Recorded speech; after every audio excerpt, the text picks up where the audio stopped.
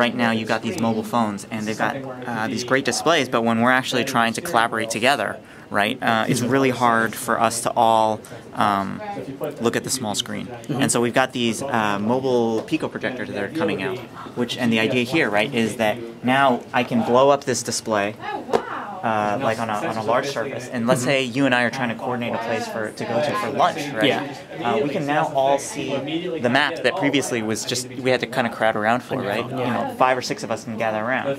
But now the new issue that comes up is if you wanted to interact with this map, it's kind of weird for you to reach over and touch my phone, right? Exactly. And so the idea is, you know, what if we could allow users to interact with the display by casting their shadow, right? Everybody knows what shadows mean.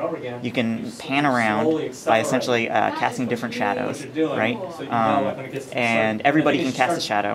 Everybody knows what these different shadows mean, right? So right now you can tell I'm trying to I'm trying to select a particular location, and um, it, it sort of allows people to do kind of this collaborative, co-located uh, environment. Uh, Right. I mean, and this is, you know, this is better than current gesture-based interfaces because if you're on the other side of the room and you say, you know, I wanna, I wanna get more details on that restaurant, and you're kind of pointing at the map. Yep.